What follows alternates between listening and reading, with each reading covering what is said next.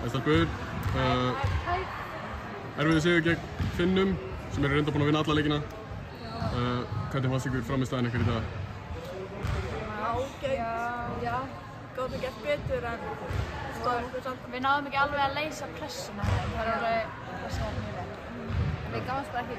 Það er rétt. Þið, þið eru reynda liðið sem ég held gekk best á móti finn, finnska liðinu sko. Ég held Ég held að að allir hafa tap með meiri 30 sko. Þannig að það er eitthvað. Já. Uh, hvað finnst ykkur kannski, hvað var það, ég meina það var pressan sem var svolítið erfið, en hvað, eitthvað annað sem að kannski hefði mátt gera betur? Bara stíga út meira. Það eru stórar inn í teiknum og við erum svolítið litlar og bara stigar út betur. Já. Og missa fólk líka mikið. Já.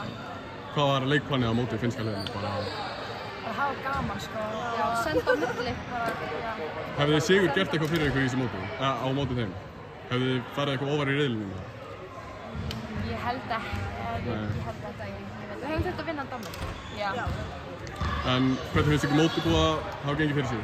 Það var mjög vel sko. Mjög skemmtilegt. En Kísi Kaljó, búið að standa fyrir óspilinu? Já. Já. Hvað finnst þið kannski best hérna við að vera hérna? Bara maturinn og að hoppa í vatnið og já. Það. Takk hérlega fyrir stelpur. Takk fyrir.